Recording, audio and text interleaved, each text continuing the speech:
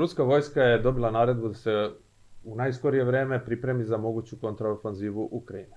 Šta se to dešava u Sudanu, a i kakve su to optužbe o izvozu srpskog oružja u Ukrajinu koje su došle prvo od Rusije pa posle od SAD. Vi ste na kanalu Pravi odgovor, odgovor zapratite nas, a sa nama je Dragana Trifković, direktor Centra za geostrateške studije, koja će pokušati da nam da pravi odgovor na ova pitanja. Dobrodošli Dragana i hvala. Hristos Voskrese. Vaistinu Vaskrse, hvala, bolje vas našli. A, evo šta se dešava to, a, da li, da li će zaista biti ova ukrajinska kontraofanziva, ruska vojska je u pripravnosti? Pa o tome se već duže vreme govori. E, zapravo e, nejasno je kada će biti i šta će biti u kom trenutku na frontu u Ukrajini, e, zato što je do sada već bilo mnogo priče o ruskoj ofanzivi i nastupu, da treba dalje da, da se očekuje da će krenuti dalje u osvajanje odnosno oslobađanje novih teritorija, a do toga nije došlo. Ova bitka u Bahmutu se jako dugo vodi, odnosno dugo traje. Ona je sada već negde pri kraju, negde možda 10% Bahmuta, samog grada, još uvek drže te ukrajinske snage. E, međutim, vidjet ćemo u narednim danima a, da li će doći do te ukrajinske kontraofanzive. Teško je bilo šta precizno odrediti, jer pokazalo se da mnogi analitičari, ne samo, ne govorimo našim, nego generalno, čak i ruski, su mnogim stvarima pogrešili, baš zbog toga što generalno niko ne zna ni kako se, na koji način se vodi ovaj rat, ni koja su pravila u ovom ratu. Zapravo pravila ih nema, odnosno sve se ide kroz neko iznenađenje. Lično mislim da će do te kontraofanzive doći. Zbog toga što zapadne sile pritiskaju Ukrajinu, odnosno Zelenskog, one preko njega i komanduju tim ratom, one traže tu kontraofanzivu i očekuju da ukrajinska vojska postigne neke rezultate. Iako se u ovim razotkrivenim dokumentima govorilo o tome da navodno ukrajinska vojska nema dovoljno oružja, municije, da traži i tako dalje, mislim da je to namerna dezinformacija jer oružje se dostavlja i to u velikim količinama, najviše preko Bugarske, preko Rumunije. A, mhm. već su stigli novi kompleksi Patriot, stigli su helikopteri, avioni, kao što smo videli, novi tenkovi i ne samo oružje, dakle tamo se doprema i vojska. A, sada je jasno da u tom ratu ne učestvuje samo ukrajinska vojska, već učestvuju vojske drugih zemalja, učestvuje Poljska, učestvuje Rumunija, učestvuju Baltičke zemlje i ono što je interesantno da to više ne skrivaju zapravo vojnici koji ratuju u redovima možda ili zajedno sa ukrajinskom vojskom, tako je ispravnije reći, ratuju u, u svojim uniformama. Dakle, tamo možete vidjeti poljske ili litvanske, letonske uniforme i tako dalje. Praktično to je sad jedan globalni sukob na, na teritoriji Ukrajine. A, što se tiče te kontraofanzive, mislim da ukrajinska vojska neće moći da dostigne neke rezultate. I zapravo, kao što smo rekli, Amerikanci pre svega njih guraju u tu kontraofanzivu. Velike gubitke su pre, pretrpeli u Bahmutu. Uh, nažalost, ne postoji politička volja da se sedne za pregovarački sto. Što se tiče samog Zelenskog, njemu je jasno da tu ne postoji više šanse, odnosno on i od početka nije želeo mirno rešenje, on je i doveden da bi izazvao konflikt, ali sad u ovom trenutku ne postoji šansa da se iz toga izvuče na neki mirni način. Videli smo izjave iz Ruske federacije da bi to bio novi Nirnberg. Dakle, jedno suđenje gde on sigurno ne bi mogao da bude oslobođen tih optužbi, tako da on nema izlaza i on, iako je ta vojska poprilično slomljena, oslabljena, sa velikim gubicima, on je dalje gura u poraz. Uh, vidjet ćemo, govorio je i Burdanov, šef obaveštene službe ukrajinske, da će uskoro Krim ponovo biti pod kontrolom ukrajinskih snaga, da će povratiti, što je potpuno nerealno, ali moguće da će tako nešto pokušati i možda bi to bio, ako ne poslednji, onda predposlednji pokušaj, možda neko govori o tome da je moguće još jedna kontraofanziva nakon te da se organizuje recimo u na jesen i da bi to negde već bilo onako poprilično istrošeno, da bi te snage bile do te mere istrošene da je pitanje koliko bi taj rat mogao da se nastavi. Šta bi dalje posle toga sledilo, to je naravno jasno, sledio bi, bi još jedan Majdan u Kijevu gde bi došlo do promene vlasti. Sad sve to treba posmatrati i sa nekih globalnih pozicija u smislu globalnih promena koje se dešavaju, gde i mi imamo situaciju da ove institucije, neke međunarodne koje su postojale, više gube svoju funkciju i da dolazi do formiranja nekih novih platformi za saradnju na bazi recimo BRICS-a, ŠOS-a i tako dalje. Videli smo da je Međunarodni krivični sud e, podigao optužbi, optužnicu protiv ruskog predsednika, ali to je nešto što, e, kao što sam rekla, mislim da je već potrošena, potrošeno i da će doći do stvaranja nekih novih e, institucija koje zapravo treba da vrše funkciju uh, a, ne političku, nego ako govorimo o nekakvim optužbama, moraju da imaju realnu sliku. Dakle, neće biti takve situacije kao što je bilo sa Haškim tribunalom za Jugoslaviju, gde je unapred optužena jedna strana i gde su onda po političkim naredbama o, o, gde su se odvijela ta suđenja, gde se već unapred znao epilog. Tako da prisustujemo jednom zaista interesantnom, odnosno živimo u jednom interesantnom vremenu gde se dešavaju istorijske promene nezapamćenih razmera, ne samo za naših života, nego mislim već u dužem, dužem vremenskom periodu a, nije bilo ovakvih promena i zapravo mislim da ćemo živjeti u jednom potpuno novom svetu a, kada se te promene realizuju. One se naravno neće realizovati a, za mesec ili dva ili možda godinu i dve, ali u narednih 10, možda 20 godina a, sigurna sam da hoće da će doći do tih velikih promena i a, da je to neminovno, da se stvari ne mogu vratiti u obrnutom smeru. Da, pomenuli ste da mnoge zemlje upravo šalju vojnike u redove Ukrajinaca. Ja sam čak razgovarao sa drugarom iz Bugarske, sad tu su već neke nerealne priče koje se pričaju u narodu o, o nekih 300.000 Bugara, ko, bugarskih vojnika koje teško da mogu skupiti za odbranu svoje zemlje, ali, ali možda nekoliko hiljada bi bilo realno a, da, da pošalju na ukrajinski front. A, ko, iz kojih zemalja i, i Koliko to? Sa ko, kojom cifrom vojnika se ukupno barata, bar iz tih NATO zemalja? Koje, koje bi Govorimo o stranim da, vojnicima. Da, li, da, o stranim pa vojnicima. Pa teško je reći, dati neki precizan podatak. Nešto je figurirala neka brojka oko 20.000 stranih vojnika. Sad ne znam koliko je to tačno, zaista je to teško a, proceniti. Naravno dolazi e, i do gubitaka, dolaze nove snage, tako da je to nešto što je promenjivo, nije konstantno.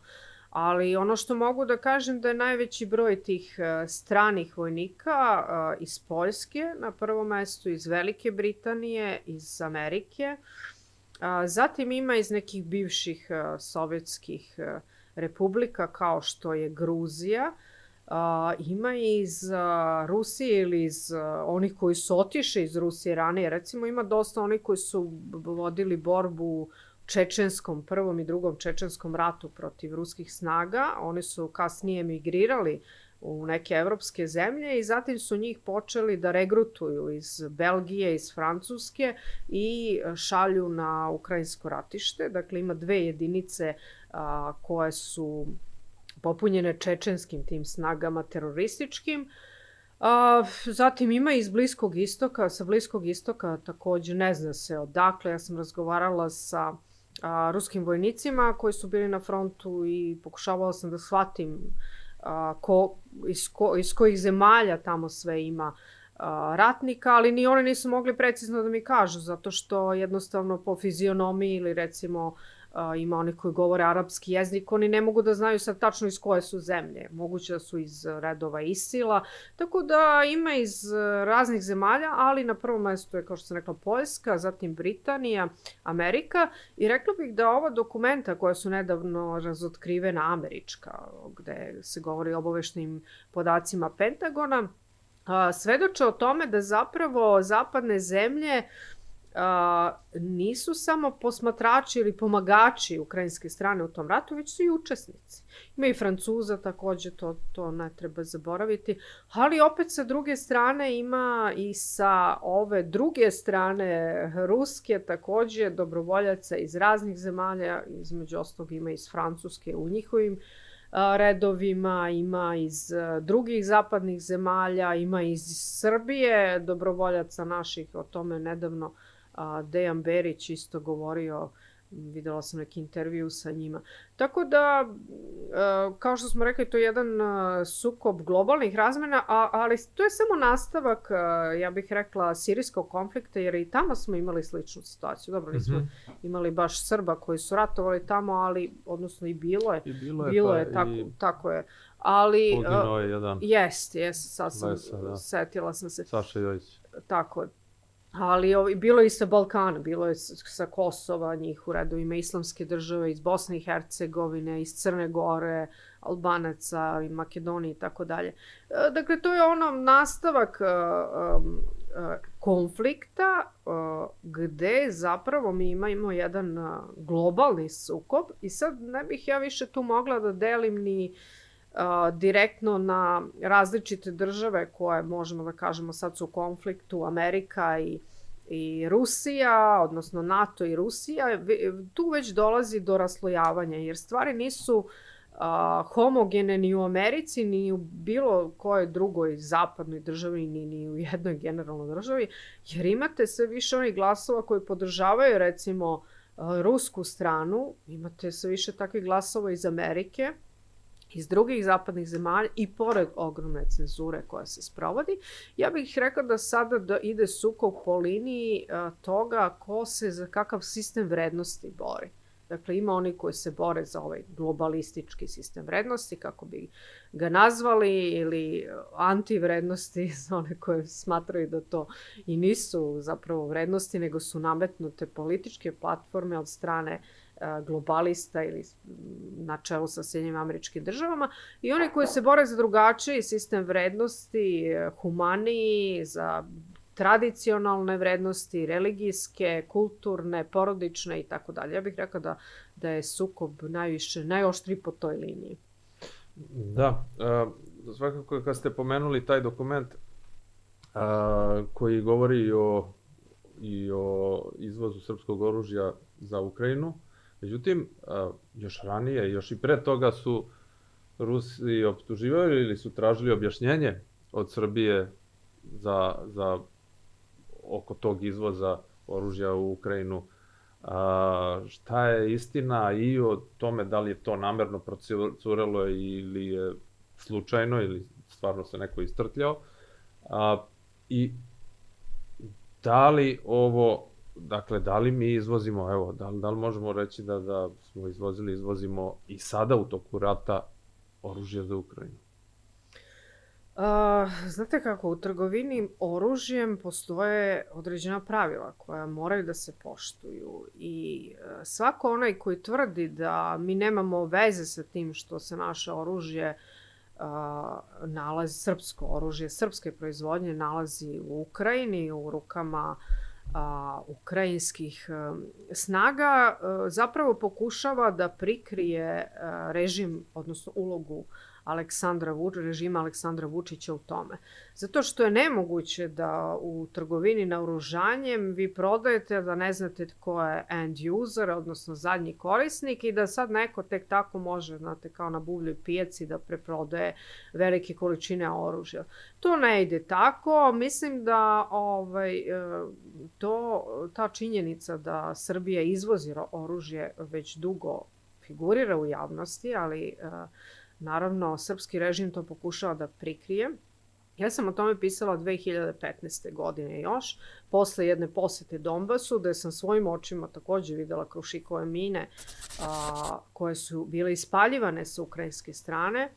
O tome govorio takođe i Dejan Berić. Bila je jedna preskonferencija 2015. godine u Ministarstvu odbrane tada Donjecke Narodne republike, gde su prikazane te mine, pronašle su neke mine koje nisu eksplodirale krušikove proizvodnje i u to vreme Aleksandar Vučić rekao kako to navodno je stara neka proizvodnja još iz vremena Jugoslavije i kako to ne zna se ko je to dostavio, to nismo mi prodavali. Međutim, nakon toga to je nastavilo je to oružje da se pojavljuje tamo i nastavili su da ga nalaze.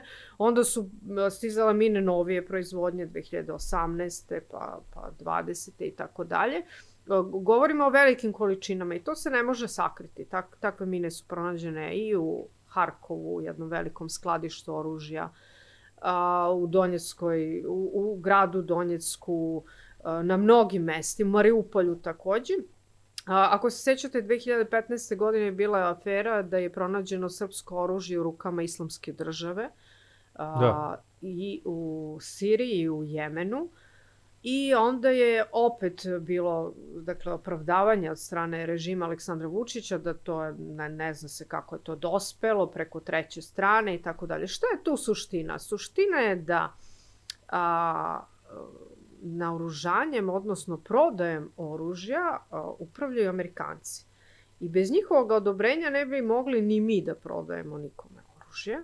Možda mhm. bismo mogli da prodajemo Rusiji ili nekim ali da prodajemo tako naširoko a, nekim zemljama i u Africi i tako dalje ne bi, a, jer uvek, a, još uvek oni dosta kontrolišu to te trgovinske puteve na uružanjem i takva je situacija od raspada Varšavskog pakta, od raspada Sovjetskog saveza, gde su Amerikanci preuzeli tu ulogu trgovine na uružanjem. Uh, a, gde je to išlo često i, i išlo i legalnim i nelegalnim putevim, ali uz njihovu kontrolu i njihovo odobrenje.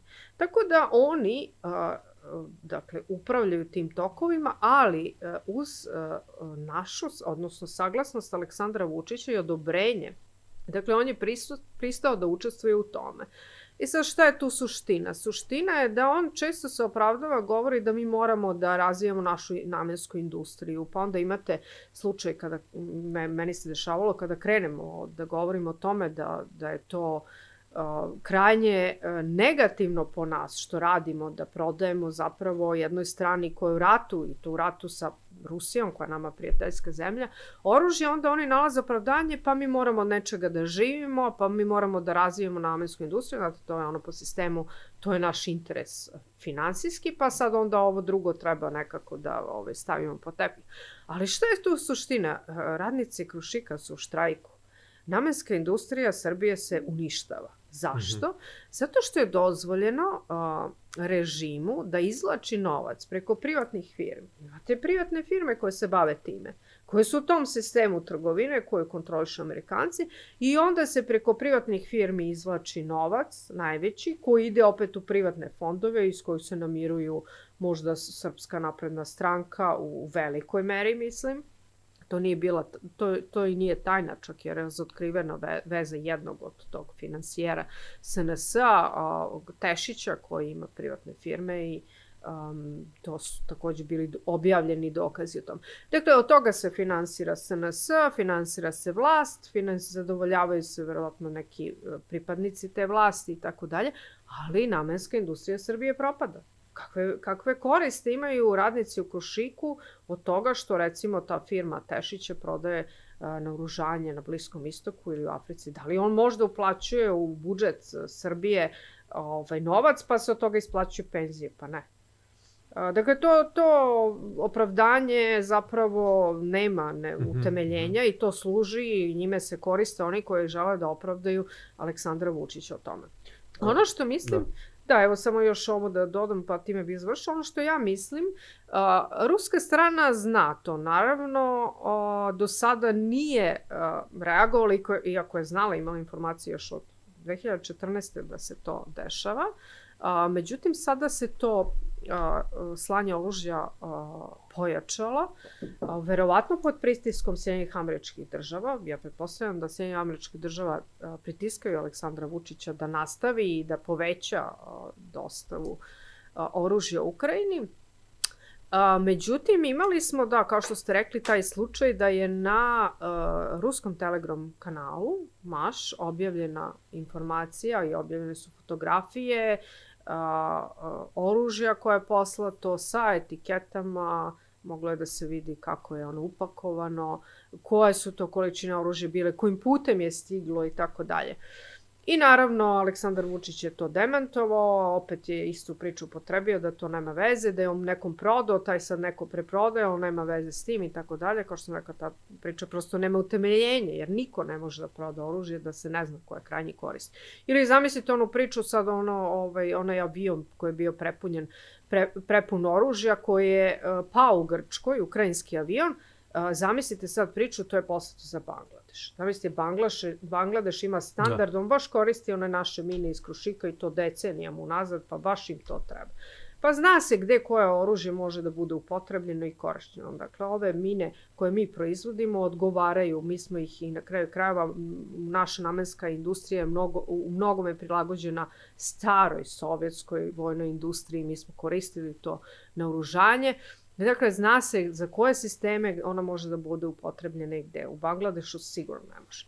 Tako da, ove te priče. E sad, kada je to objavljeno, opet, opet je ovde demantovano i uh, Vučević je demantovao i Aleksandar Vučić, Ivica Dačić i tako dalje. Znate, ne bi Ministarstvo inostranih poslova postavilo pitanje o tome zašto Srbija dostavlja naoružanje Ukrajini, da to nije uh, proverena više puta informacija i pouzdana informacija. Uh, mislim da je to samo bilo upozorenje, nakon toga su se stvari malo stišale, ali bez obzira na to, vrlo jasno je bilo to što je uh, zvanično, upućen zvaničan zahtev i uh, tražen zahtev od države Srbije uh, sa objašnjenjem zašto dostavlja naružanje Ukrajini, a sa druge strane ovo što je to dospelo u javnost preko uh, dokumenta koje su otkrivena uh, iz Pentagona, Pa mislim da ni to nije slučajno, jer zapravo uh, moguće je da Amerikanci imaju ideju da razotkriju Vučićevu ulogu do kraja. Ili možda da ga ucene na neki način. Da, sad mi ne znamo konkretno čime i šta. Može biti oko Kosova. Na kraju krajeva treba postaviti pitanje i kako su predate naše crkve u Makedoniji koja je tu vrsta ucene bila. To, to preko toga se prešao kao da se ništa nije desilo. Možda u pitanju uvođenja sankcija Rusiji, ko zna koji su tu zahtevi, ali to je način dakle, da ovaj, se a, režim uceni, jer je on u to umešan, oni imaju za to dokaze i to mogu da koriste. Dakle, mislim da će to nastaviti dalje da se razotkriva, koliko i dokle će moći da Aleksandar Vučić se brani takvim negiranjem, to je pitanje. I na kraju krajeva čime će to sve rezultirati, to ćemo videti. Da li će rezultirati time da recimo Vladimir Putin oduzme orden koji je dao ovaj Aleksandru Vučiću? Pa, mi smo potpisali jedno, pi, odnosno napisali jedno pismo i otvoreno i poslali predsedniku Vladimiru Putinu i tražili smo da oduzme taj orden uh, Aleksandru Vučiću jer ga je on nezaslužno dobio. Taj orden ne dobija svako i on ima duboko značenje. I taj orden se zapravo daje za odbranu državnih i nacionalnih interesa. A, pretpostavljam da je taj orden bio poruka a, ko jedna, mislim, duboko, a, duboko misleća poruka iz Rusije, predsedniku Srbije, ali pitanje, nije pitanje samo da li on shvatio tu poruku ili nije, pitanje uopšte da li naš režim ima neku strategiju i da li ima uopšte mogućnosti da barem se malo pomeri u stranu te politike odbrane državnih nacionalnih interesa. Mi to do sada, sem prazne priče i tvrdnji da to navodno se ovaj, naš režim i Aleksandar Vučić koji nosila zapravo tog režima bori kao lav i tako dalje. Osim te priče mi ništa drugo nismo videli. U praksi smo videli sve obrnuto. Predate su naše crkve uh -huh. a, u staroj Srbiji, u Makedoniji, na Kosovu više ništa ne kontrolišemo korak po korak. Mi smo sve predali albanskim separatistima i tako dalje i tako dalje razgradnje institucija mislim jednostavno ovaj došli smo do toga da razgrađujemo sve što postoji, što se gradilo decenijama, vekovima i tako dalje. E sada, što se tiče ruske strane, znate, dosta ljudi se kritički odnosi prema ponašanju Rusije u smislu toga zašto Rusija toleriše ponašanje Aleksandra Vučića, zašto ne reaguje, zašto na neki način tumači se i podrška Aleksandru Vučiću, od recimo od ambasadora da. pre svega i tako dalje. Sad to nije jednostavno objasniti zato što da bismo to detaljno objasnili morali bismo da uđemo u analizu a, strukture vlasti u Rusiji koja takođe nije homogena, vi sad imate, imate jedan odnos recimo vojno-bezbednostnih struktura ka, ka, tom, ka politici Aleksandra Vučića i mislim da uh, ovaj, oni e, imaju mnogo više razloga da osuđuju njegovu politiku. Evo recimo konkretno zbog tog naoružanja koje dostavlja Ukrajine. Ali sa druge strane imate politiku Ministarstva spoljnih poslova koja je dosta, dosta mekša i naravno ovaj, tu je već posebno, posebno pitanje ambasada Ruske federacije uh, u Srbiji koja se u mnogim slučajevima ponašala kao čak i filijala, ja bih rekla, Srpske napredne stranke. To je počelo od Čepurina još, ovaj, mislim da je Konuzin bio poslednji ambasador koji, koji je ovaj, se ponašao na jedan, da kažemo, drugačiji način, ali od Čepurina je to krenulo, a, koji je posle toga dobio upravni odbor u, u Nisu a, i tako dalje i to se nastavilo. Dakle, to je posebna jedna priča. Ali ono što hoću da kažem, bez uh, ikakve potrebe da, da branim uh, rusku stranu, ja nisam advokat Rusije, nego prosto da bi objasnila, pošto poznajem dosta dobro i prilike u Rusiji rusku politiku. Mislim da ruska strana ne reaguje iz jednog jedinog razloga. Zato što ruska strana ne želi da da ni jedan argument i ne želi zapravo da gurne Aleksandra Vučića u ruke uh, E, zapada. Jer Aleksandar Vučić bi naj, najviše voleo da Rusija recimo povuče nekakav potez koji bi on ocenio kao oni, i oni bez toga pokušava da, da, da. Rusiji pripiše organizovanje nekih protesta po Srbiji što nema veze sa realnošću. Uh, razne stvari, onda onog, sećate se one špijune sa Klebanom afere, kako Rusija navodno špionira Srbiju i tako dalje. Mi imamo NATO ovaj, kancelariju u Ministarstvu odbrane, ali eto Rusija naš špijun i tako dalje. Dakle, raz, on, on i bez toga pokušava da pripiše Rusi neke stvari, međutim bez ikakvog utemeljenja i argumenta. Njemu bi bio dovoljan samo jedan argument, da kaže evo vidite šta Rusija radi, mi moramo da se okrenemo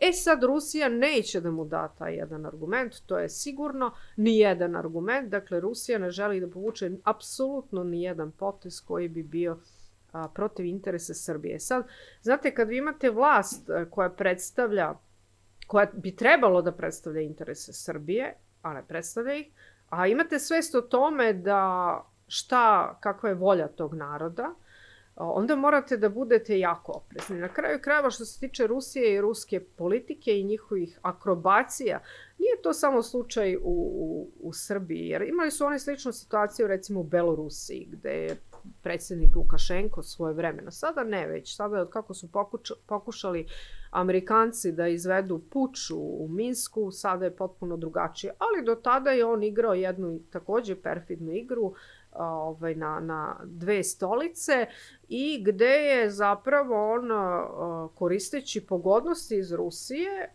i finansijskom podrškom Rusije zapravo odvajao Belorusiju od Rusije. Imate slučaj tamo, recimo njihovi mediji, ja sam ih pratila, Sputnik beloruski, to nije bio ovaj ruski Sputnik, to je bio beloruski Sputnik, potpuno pod kontrolom a, režima Lukašenka. Kao što imate i ovde slučaj da je to, to je a, o, zapravo nije ruski medij, to je medij Aleksandra Vučića, jer je pod njegovom kontrolom. Tako da, ovaj, znate, mi uvek gledamo sve iz naših pozicija, što je logično, i, ali mhm. nemamo jednu širu sliku toga. A ipak, ovaj, mislim da Moskva ima jednu širu sliku, pa i samog I same činjenice da Moskva, o, ako pogledamo njene granice, dakle ono posmatra u, u krugu svih svojih granica šta se dešava.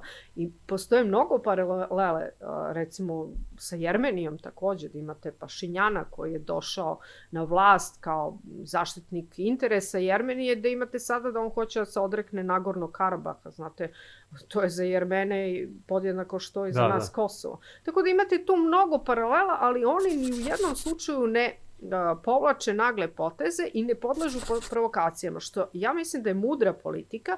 Evo objasnit ću zašto. Zamislite da su Rusi reagovali onog momenta kada je Turska, verovatno je to bila specijalna operacija američkih snaga ili Uh, oni su podsticali subverziju u Turskoj da se tako nešto uradi. Uh, kada je oboren uh, ruski uh, avion u Siriji, Zamislite da je, da je Rusija odmah tad reagovala i pokrenula rat sa Turskom. A, Rusija ne želi da ratuje, Rusiji nije u interesu da ratuje. A, ni Kini takođe nije u interesu da ratuje. Kina je zainteresovana za razvijanje biznisa, projekata, infrastrukture i tako dalje.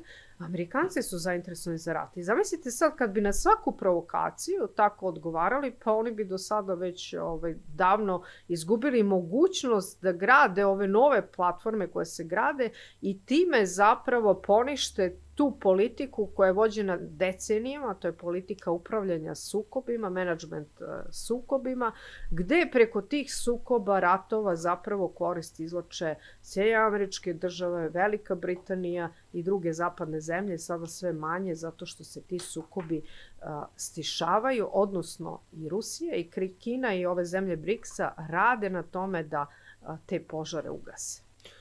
Da, još bih samo da pitam, pošto ste bili, evo, mesec dana ste bili, evo, nedavno baš u, u Rusiji i, i bilo je već pokrenuto pitanje i oko oružja. Šta govore tamo zvaničnici, neki visoki e, bitni činioci Ruske federacije, da li ste se sa njima sretali, možete, a ne morate reći imena, ali recite nam šta su, na, šta su rekli o Vučiću i o Srbiji. Mislim, da li, da li podržavaju, ne podržavaju nešto od toga? Uh, znate kako, ovi ljudi koji su u strukturi vlasti, uh, većina njih uh, ima potpuno jasnu sliku o tome ko je Aleksandar Vučić. Ja bih rekla možda čak jasniji od nas ovde. A, međutim, a, Aleksandar Vučić je mnogo uložio u svoj PR u Rusiji. Mhm. On je zaplatio jednu, on je platio jednu, a, ili potplatio jednu kako bi rekao, PR agenstvo. Našim parama, naravno. Neki, naravno, da. Ovo, ovaj, nekih balkanista i preko njih je on o, godinama a, gradio sebi jedan imidž velikog ruskog prijatelja, zaštitnika srpskih interesa i tako dalje, mhm. što je a, imalo efekta, ali opet kažem, naravno nije mogo takav imidž da izgradi kod Putina takvim putem ili kod ove ljudi koji su na pozicijama koji mislim vrlo dobro vide i znaju, imaju informacije. Uh, on je gradio kod običnih ljudi. Sad vi, znate, kad mnogi ljudi nemaju informacije, ne znaju zapravo šta se dešava. Jer one informacije koje u Rusiju stižu odavde, imate te, te zvanični putevima, znači zva, zvanične agencije, recimo RIA Novosti i tako dalje. Imate Zvezdu koja je a, kanal pri ministarstvu a, odbrane. A, oni uglavnom objavljaju informacije, zvanične informacije iz Srbije. E sad, redko gde vi imate da čujete te glasove disonantne. A Aleksandar Vučić je radio sve da te glasove utiša u potpunosti, neutrališe ih. Pa je zato, jako mu je bilo stalo da ugasi fond strateške kulture koje je vodila Anja Filimonova ovde, koja je objavljivao sjajne analize i tekstove, vrlo objektivne. Mm. Ili zato mu je bilo u interesu da, ne znam, ni u Rusiji zatvori mogućnost bilo kome da uh, objavi nešto što nije u skladu sa onim što on govori. I onda je išao tu na sistem uh, prvo uh, potkupljivanja, gde je mogao, a gde nije mogao, onda je išao na uh, sistem zastrašivanja, pretnji, ne znam, nekima ljudima koji rade, na primjer, u institutu, koji daju izjave da će ostati bez posla ovde ako nastave tako da govore i tako dalje. I a, treći metod, to je metod a, zatvaranja vrata zabrane, pa znate, tu imate i taj njegov sistem razno raznih doušnika koji se time bave, onda ovaj, a, zovu novinare, recimo meni se dešavalo da dam intervju, onda neko odavde zove novinara i kaže nemojte nju da intervjuišete, znate, ona je u dosluhu sa ovim žutim banditima, ona je bila na vlasti s njima, pritom ja nikada nisam bila na vlasti, niti sam u dosluhu sa bilo kim, ali to je njiho, e, to su metode kojima da. se oni služe. Tako da, a, teško je reći, a, zapravo, vratit ću se na vaše pitanje, a, uh -huh, uh -huh ljudi, recimo ja, ja sam baš sutradan kada je objavljena informacija da se srpsko oružje, srpske mine dostavljaju u Ukrajinu. A, sutradan sam bila u poseti a, najvećem duhovnom centru a, u Rusiji, Sergejom Posadu i razgovarala sam a, tamo sa sveštenikom koji je inače iz Donbasa i bio je u um, bio je zarobljen tamo i onda je Rusija radila na tome da ga oslobodi i on se sad nalazi u Sergejem Posadu. Mi smo razgovarali o raznim temama, između ostalog i o Srpskoj pravoslavnoj crkvi, o Ruskoj pravoslavnoj crkvi, o ratu naravno. A, I onda je on u jednom trenutku rekao ja sam jako zabrinut zbog toga što Srbija dostavlja na oružanje Ukrajini. Dakle, čovek je znao to, nije... Ovaj, to je bilo sutradan pošto je objavljeno, ali kažem, nije to informacija od juče ili od pre mesec dana. To, to se zna. Oni koji su bili u Donbasu ili koji žive tamo pogotovo, jer oni znaju to. to se ne može sakriti. A, onda od isto nekih drugih ljudi sam a, čula da su zabrinuti zbog toga i da je to zaista strašno. Mislim, moj odgovor je mogao da bude samo potvrdan, da se slažem sa tim da je to strašno, ali da to ne, nije volja i želja građana Srbije i da Aleksandar Vučić to trguje na svoju ruku. I zapravo, ja sam primetila jednu veliku bojazan kod Rusa da a, režim Aleksandra Vučića može da nas a, uvede u jedan sukob koji bi bio Nije to sad sukob, znate, možemo mi, sankcije Rusije postoje odavno, samo nisu formalne. Uh, može, mogu one možda biti sutra formalno uvedene. U kom smislu? U kom smislu postoje? Da, neformalno. Pa u smislu toga da Rusima nisu dozvoljene investicije u Srbiji. Znate da na jedna firma ovde nije mogla se razvija. Sad priča, evo, otvorio je Yandex. To i pre ovoga, pre Ta, rata. Tako, uh, tako je pre, ne, ne, od do, dolaska. Zapravo najveću investiciju da. koju je Rusija ovde pokrenula je... Pre zapada sankcija, ako je ako to me Pa zabranjeno je, da. Vi imate jedan sistem ovaj, e, struktura unutar institucija, mrežu, koja možda negde u Americi se to zove deep state, kako se zove kod nas, ne znam. Ovaj, ja znam da postoji. Gde zapravo imate svuda gde se okrenete barijere da ne možete razvijati saradnju sa Rusijom. Ni u obrazovanju, ni u kulturi, ni u trgovini, ni, ni u čemu. I nije to od juče, pa, da, pa to da, dugo zbog... traje. Zbog stipendija, jel tako je smenjen dekan uh, ovaj, pravnog fakulteta u Novom Sadu zbog ruskih stipendija, a zapadnih ima na, na hiljade i Da, sistemski se one nude, sistemski se školuju studenti, onda se, to vam je ovaj sistem Soroša recimo, gde oni daju stipendije, školuju svoje kadrove, a onda im pomažu u razvoju karijere. E, tako imamo Anu Brnabić ovde, na, ko je glasao za nju? Ne, niko, ne, ne, ne zna ni ko je on. Pa odatle ona na vlast. Podrška u razvoju karijere. Nije ona jedina, nažalost, mi imamo tako, imate um, Zorana Mihajlović isto iz tih struktura prozapadnih nevladinih organizacija, imate, sad možemo da nabrajamo ohoho takvih primjera. Dakle, to se sistemski radi. Uh, da se vratimo, da, na da. ovo pitanje, da time zaključim. Dakle, postoji jedna velika bojazan, ja sam to primetila kod Rusa, koji imaju mhm. sve isto tome šta uh, srpsko-rusko prijateljstvo, uh, savezništvo, bratstvo, kako god da ga nazovemo, znači i za nas i za njih, imaju jednu bojazan i ka, pitali su me za sankcije. Pa a, šta ako se sankcije uvedu, mi ne možemo da zamislimo da Srbija bude na, na spisku neprijateljskih zemalja Rusije. Ja kažem, pa znam da, da je to teško zamisliti, ali ako se tako nešto desi, to je prosto po fakt, po automatizmu sve države koje su uvele sankcije Rusiji su na toj listi.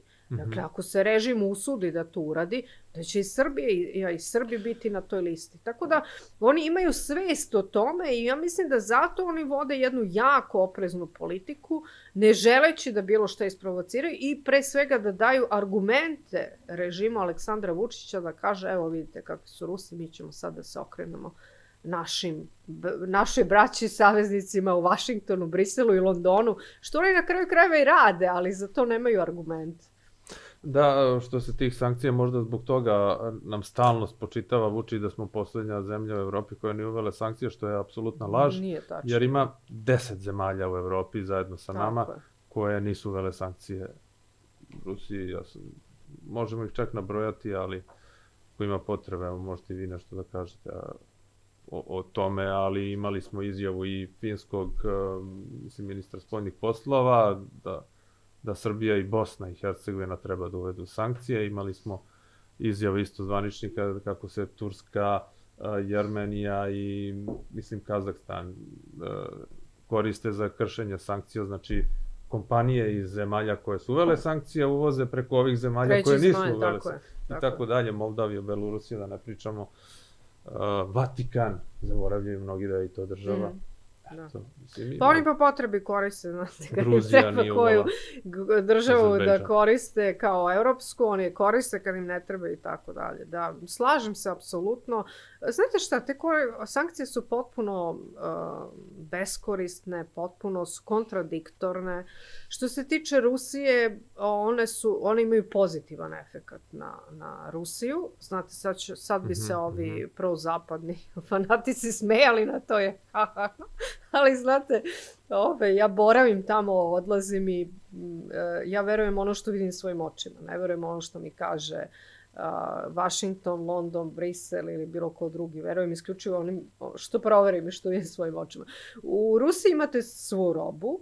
E, meni je bilo interesantno dok sam bila u, u Moskvi i uh, javljala mi se moja prijateljica koja živi u Nemačkoj već godinama. Uh, I onda mi je rekla, da, ja sam rekla, evo, baš sam se danas tebe setila jer sam kupila neke nemačke čokolade i ovaj, e, htela sam te pitam otkud nemačke čokolade u, u, u Rusiji pored svih sankcija.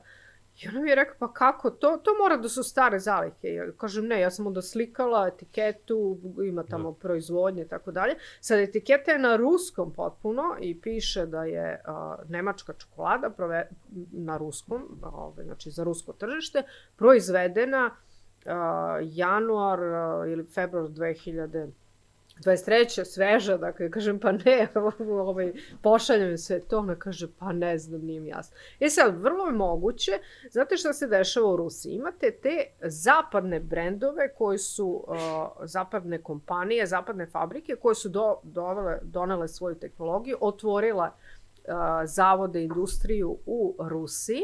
I sad zapravo ovim što se sve izdešavalo, gde su uvedene sankcije drakonske, gde su presečene veze između Evrope i Rusije, zapravo je Rusija povratila svu onu svoju industriju i tehnologije koje je zatvoreno po raspadu Sovjetskog saveza, znate da je to sistematski uništavamo, no kroz onu, slično kao kod nas pljačkašku mm -hmm. privatizaciju, tamo isto reformu i perestrojku i tako dalje, sve uništena potpuno industrija, onda su zapadne kompanije došle, otvorila svoju industriju, e sad se to vratilo na staro. Dakle, Rusija je sad ponovo u posedu tih tehnologija i ovaj, fabrika.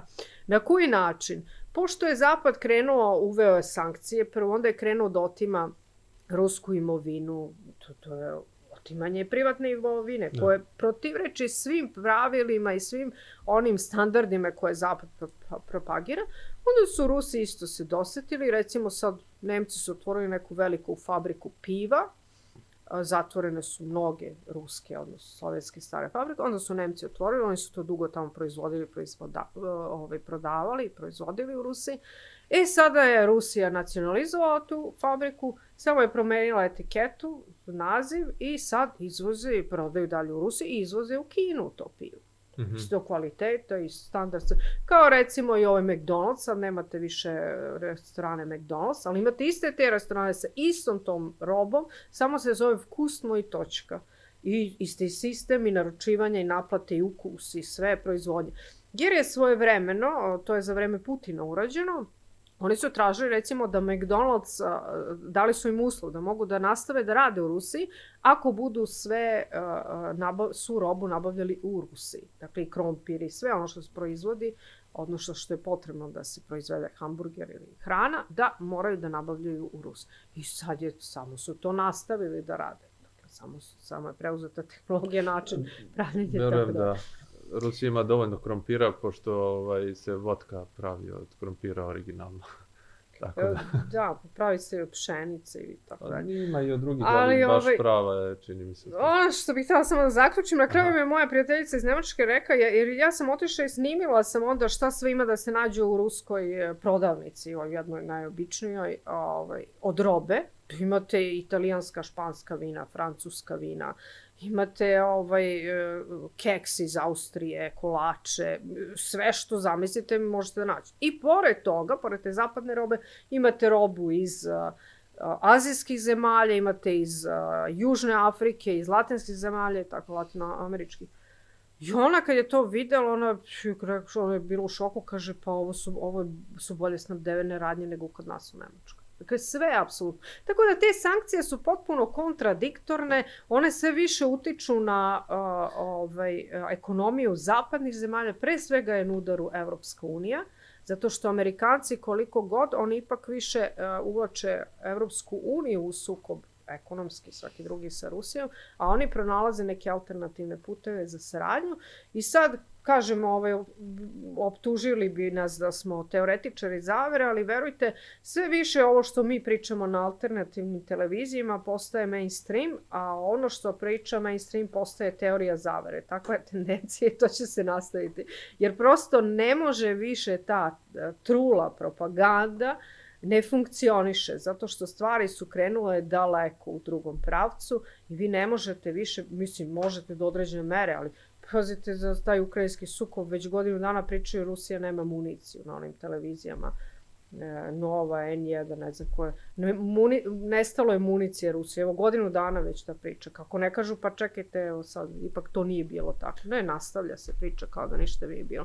Tako da to više ne funkcioniše, ta propaganda i to do, doći će do jedne potpuno promene i u tome da to, to je potrošen model o, iz 90-ih najgorih godina pa do danas više to ne funkcioniše. A, ovo je zanimljivo. A, Poljska i Mađarska su uvele zabranu uvoza žita iz Ukrajine, a, Slovačka i Bugarska su najavile isto, ali Brisel zbog toga malo ludi, ali ovo što su uradile ove Poljska i Mađarska, da li su to prve sankcije Ukrajini i to iz radova EU? Pa, te evropske zemlje igraju isto jednu vrlo pokvarenu De igru. De facto su sankcije.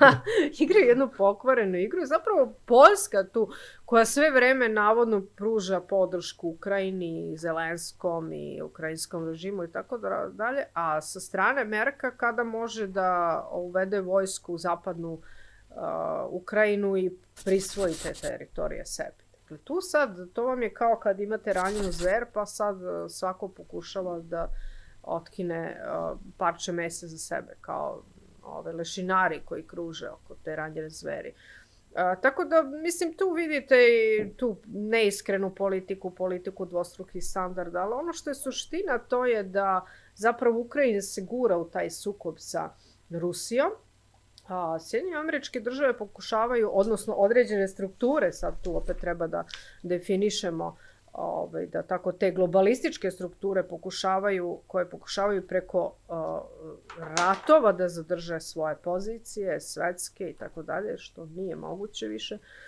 da uvuku i druge zemlje, između ostalih i Poljsku, taj sukob podstičuje da poljska armija treba da uđe. Imali smo preključ izjavu Medvedeva uh mhm. -huh. da ukoliko Poljska bude ušla u Ukrajinu, u taj sukob, da Poljska neće postojati. Što je vrlo oštra izjava, ali znate šta, često i dalje ne shvataju ozbiljno mnoge izjave koje dolaze iz Rusije.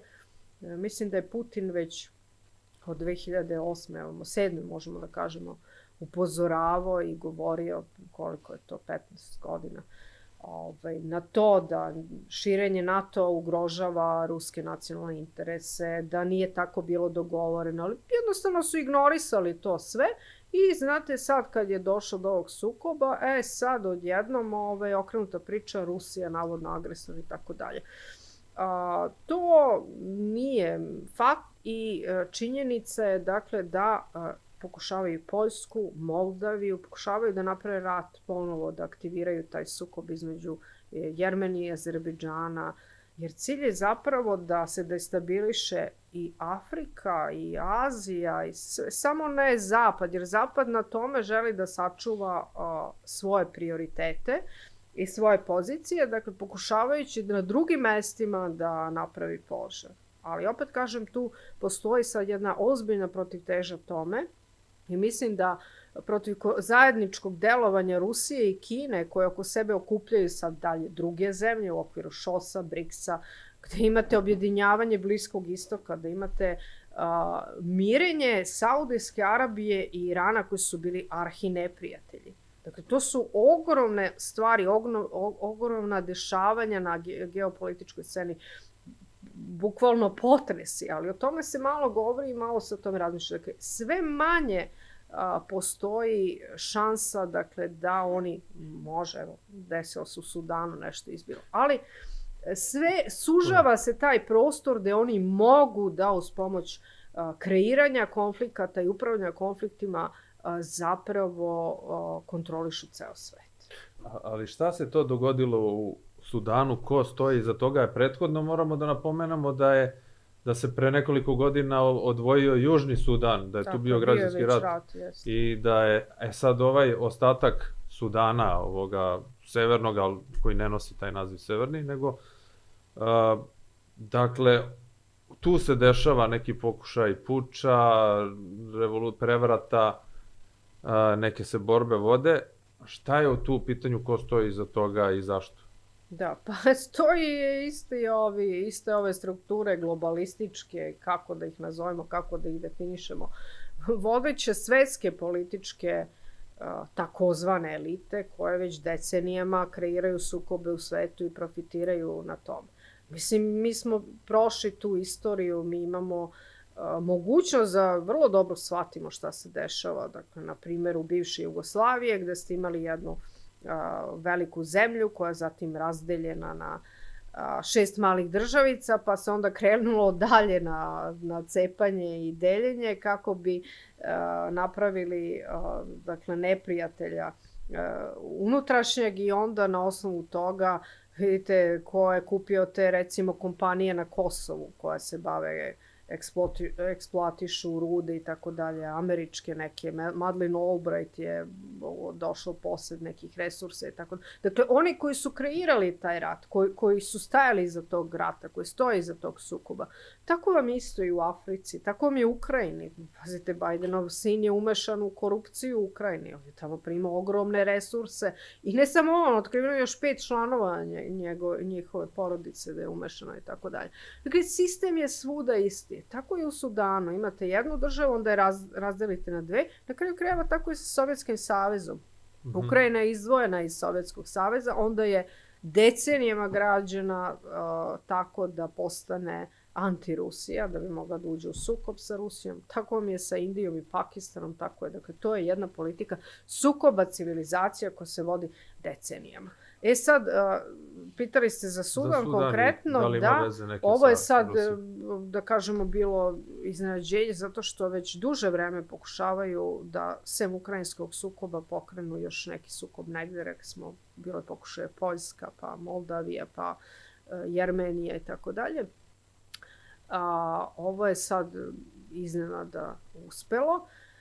Ali mislim da je to kratkog daha, da će se tu situacija staviti pod kontrolu, jer Afriku sve više, ovaj, Afrika sve više potpada pod uticaj zajednički koordinisani Rusije i Kine. To je nešto što se dešava već eh, godinama unazad tamo.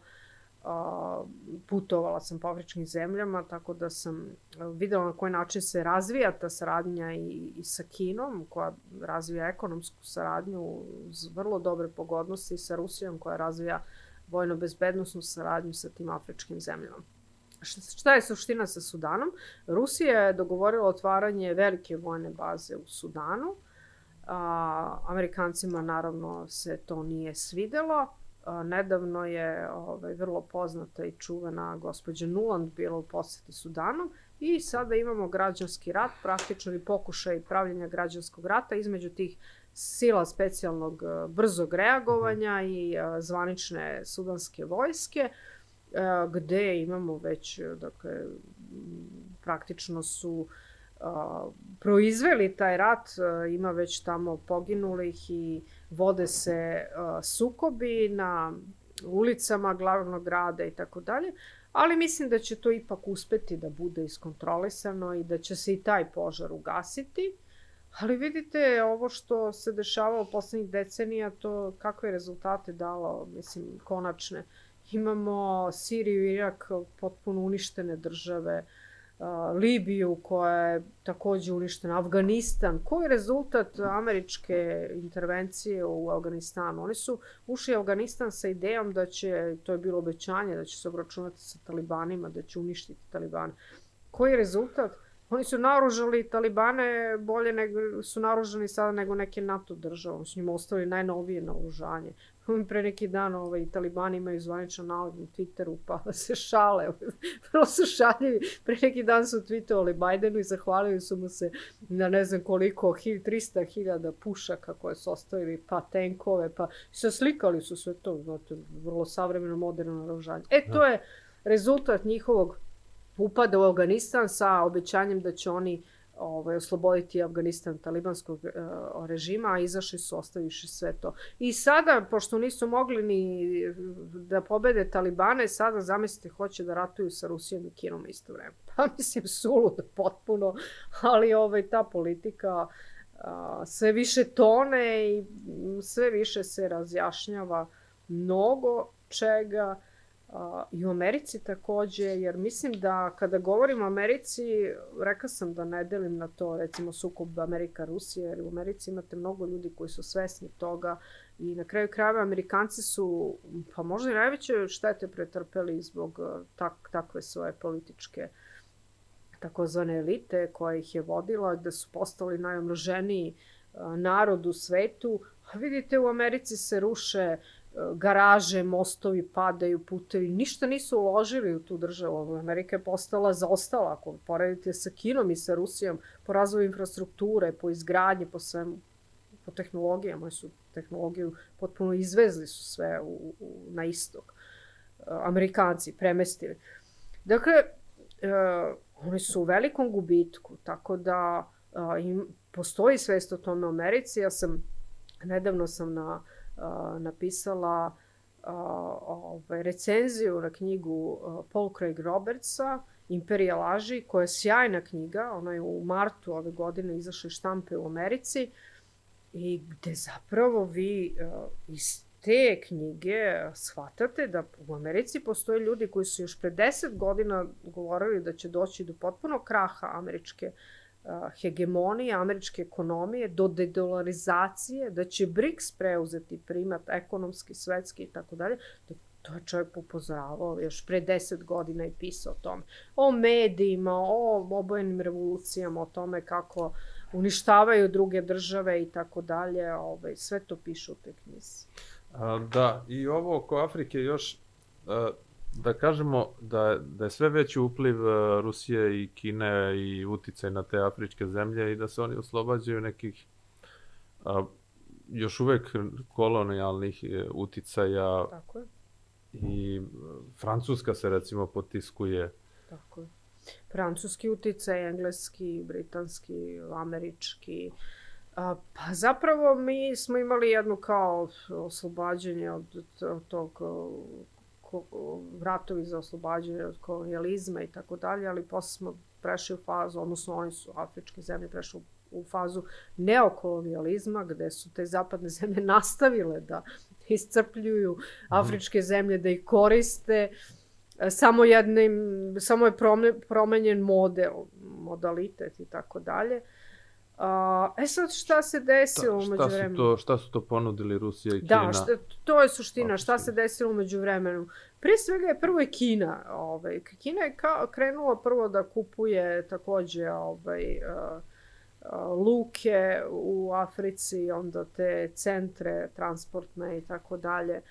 Да гради нову инфраструктуру, Šta, šta je suština kod Kine? Kina uh, želi da razvija trgovinsku saradnju. Kina je postala uh, sada naj, najjača ekonomija svetska i jedan od najvećih proizvođača. Vi ako pogledate sad koju proizvodnju ima Amerika i zapravo na čemu Amerika zarađuje novac, vi ćete u većini, većini slučaja usluge. Ja ne znam koliko je, mislim nešto oko 12% neke proizvodnje realne da su spali.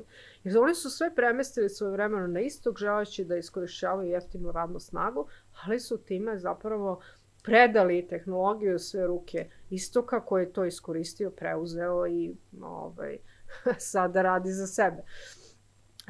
Dakle, Kina nudi jedan potpuno drugačiji modalitet saradnje i razvoja ekonomskih odnosa, ne mešajući se unutrašnje pitanja drugih država, što je jako bitno. Ako gledamo na našem primjeru, dakle mi imamo stalno neke ucene od MMF-a, zadužujemo se, pa onda ako uh, morate da priznate Kosovo ako hoćete da dobijete nov kredit ili da biste otplatili ili znate, stalno imate tu jedan ovaj, uslovljavanje ekonomsku koje je vezano za, za politiku. I onda ovaj, vi ne možete da vodite samostalnu politiku zato što su vam stavili omču oko vrata, ucenjuju vas i o, traže od vas dakle, da vodite politiku u njihovim interesima, a ne u sobstvenim interesima. E sada onda se tu pojavila Kina koja se ne meša u unutrašnje pitanje drugih država, nudi uh, saradnju na bazi obostranih interesa. Koji interes recimo neke afričke zemlje da, iz, da Kina izgradi autoput Dogovorit će se da li će verovatno, možda će i kineske firme to graditi, možda će zajednički to graditi, ali afričkim zemljama, jednoj afričkoj zemlji je u interesu da ima autoput, je li tako? Ko što je svakom da. u interesu.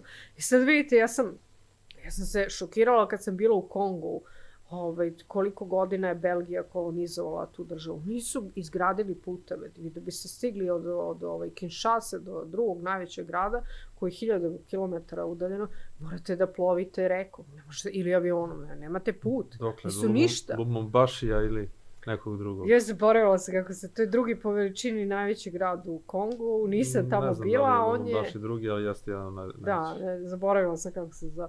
Ali nemate, nemate infrastrukturu putnu uopšte, a koliko su oni iscrpljivali Kongo i dan danas, koliko su dijamanata izvezli, to je jedna od najbogatijih afričkih zemalja, a, u resursima, ali ljudi tako žive da oni nemaju bukvalno vodu pijaću tamo, nemaju puteve, nemaju ništa. I Kina nudi drugačije, dakle Kina nudi razvoj, jedan realan razvoj zemlje, obostrane, ovaj, odnosno saradnju na bazi obostranih interesa i ne ucenjuje ih ekonomski, što je naravno za sve prihvatljivije, dalje, daje im bolje pogodnosti, dakle imate manju kamatnu stopu tih kredita nego što nude, nude zapadne banke i naravno da je svima to prihvatljivo. A što se tiče Rusije, dakle širenje ruskog utica ide nekako uporedo sa tim ekonomskim kineskim vojnom, Vidite, imate te afričke zemlje gde imate godinama problem bezbednosti, da ne mogu da se izbore sa kriminalom, sa terorizmom, to se pojačava. Posebno se pojačava ako se otkrije recimo neko novo nalazište gasa ili dijamanata. Ili recimo u mhm. Mozambiku su otkrili ovaj, jedno novo uh, naftno nalaz, ne, gasno, gasno nalaz, on, u roku od mesec dana se pojavila teroristička organizacija, no, zamislite to. Da. to je sistem ovaj, gde, gde je gas i gde je nafta, gde su resursi, odmah se pojavljuju ovi američki arheolozi. A, Rusija nudi a, obuku vojnu, bezbednostnu, koja ima realne rezultate, gde zapravo njihove vojno bezbednostne snage koje bile obučene, recimo u Centralnoafričkoj republici, zaista realizuju to u praksi i zaista mogu da poboljšaju bezbednost, da se izbore sa terorizmom i tako dalje. E sad onda, ovaj, kad je recimo Macron video da, da se to reali, da on gubi utice, onda je optužio Rusiju kako Rusija radi protiv francuskih interesa i tako dalje, onda je brže bolje otišao u Centralnoafričku republiku i tražio je da oni raskinu te ugovore o vojno-bezbednostnoj saradnji sa Rusima i kaže, evo, nudimo vam mi, Evropska unija će da obučava vaše vojno-bezbednostne snage. Pazite, Evropska unija prvo nema vojsku svoju. Kako može neko ko nema vojsku da obučava da. vojsku neke druge države? Ovde su oni na brzinu sklepali one neke evropske, ovaj, kako se zove, bezbednostne jedinice. Tu i naša vojska da, učestvuje. Evo sad oni idu, zamislite naša vojska, evo Kosovo mi predajemo Albancima bez problema. Niko ne priča o tome ovaj, svakog, svakog dana upuce nekog Srbina na Kosovu. Da tamo treba bezbednost, da brinemo mi o bezbednosti? Ne Zamislite, mi šaljemo vojsku u Centralnu Afričku republiku da ona tamo nekog spašava i obuča. Pa to je super, ne znam šta reći na to, mislim, to je strašno. I sada to postaje sve besmisleno. Pritom ta francuska vojska je recimo prisutna tamo decenijama unazad, ali nikad ništa unapredili nisu.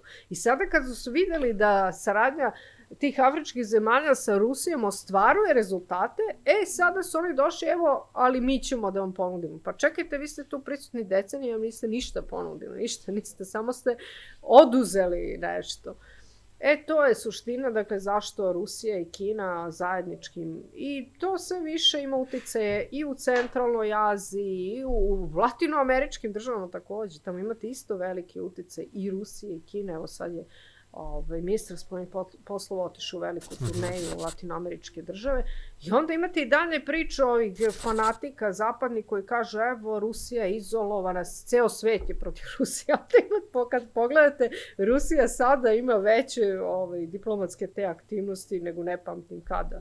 Afričke zemlje, Latinska Amerika, Centralna Azija, da, neverovatno. E, dolazi do situacije da se zapadni svet samo izoluje sve više, ali na sobstvenu štetu. I više nemate, evo videli ste ovaj, kako se ponašaju čak i afrički lideri prema ovaj, tim eh, zapadnim zvaničnicima. Sad je, ne znam, i, i, ovaj, i, kineski takođe, ovaj, Blinken je hteo da dođe, otkazuje jednu posetu Kine i sad je ponovo hteo da dođe, odnosno da ovaj, dogovori novi sastanak koji su rekli nemaju vremena da organizuju. Pa ste imali ovog ovaj, predsjednika Afričke države koji je u oči rekao nemačkom ambasadoru zašto se vi mešate u unutrašnje pitanja naše države? Da se mi vešamo u vaše. Ajde, dosta je bilo i tako. Znači oni su već počeli otvoreno ovaj, da im lupaju šamare i dele lekcije. A, tako da Zapad se više tone u, u te, tu svoju nemoć i ne znaju šta da rade, ne ide im više ni da nove požare prave, ni to ne uspevaju. Tako da vidjet ćemo kako će se to završiti. Da, a Macron e, priprema taj mirovni plan za Rusiju i Ukrajinu. Mislim, ako je spremio zajedno sa Šolcom ovaj sporazum o normalizaciji odnosa Beograda i Prištine, evo, i ako je Vučić i pristao na to, ne znam kako misli Putina da privoli na nekakav njegov plan. Pa nije, zato što njemu bilo bolje da sprema mirovni plan za Francusku. Francuska gori, vi kad pogledate, ja pratim da. mitinge, dešavanje, pratite i vi sigurno. Francuska gori svake nedelje, i to ne je Pariz samo, nego Lyon, da. sve, širom. širom Francuske, imate novu francusku revoluciju.